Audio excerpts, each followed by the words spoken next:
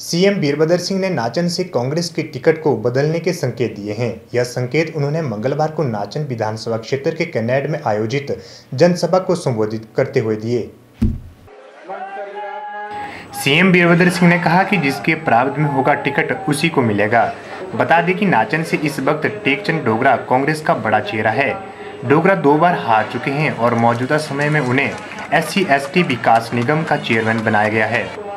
नाचन से कांग्रेस के टिकट को लेकर कई चाहवान कतार में खड़े हैं, जिनके बारे में सीएम वीरभद्र सिंह को पूरी जानकारी है।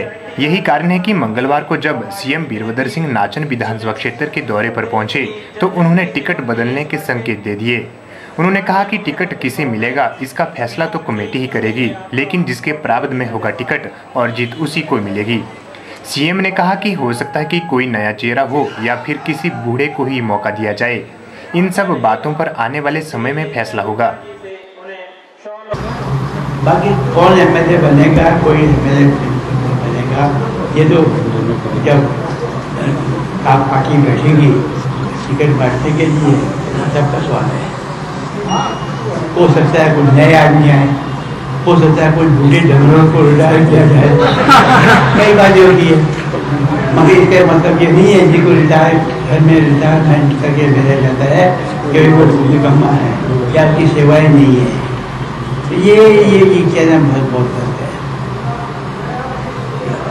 वो होगा जो किसी के प्रारंभ में लिखा हुआ होगा। इससे पहले सीएम वीरभद्र सिंह ने नाचन विधानसभा क्षेत्र की ग्राम पंचायत कनैड भौर, डुगराई, छातर अपर बहली व जुगाहन तथा ग्राम पंचायत ढोलाधार कोटला घीडी तथा भलाना के लिए बनने वाले पेयजल योजनाओं का शिलान्यास किया। सीएम के समक्ष हटगढ़ में डिग्री कॉलेज की मांग को सभी नेताओं ने प्रमुखता से रखा, लेकिन सीएम ने सिर्फ़ कनेड स्कूल को साइंस लैब की सौगात देकर बाकी मांगों को अनसुना कर दिया। इसे नाचन के लोगों में भारी निराशा देखने को मिली।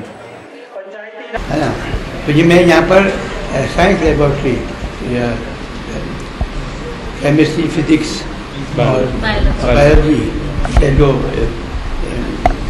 बड़ी जो लेबोरेटरी होती है उसको मैं यहाँ पर बिल्डिंग जाए उसके लिए टाइमिंग की जाएगी।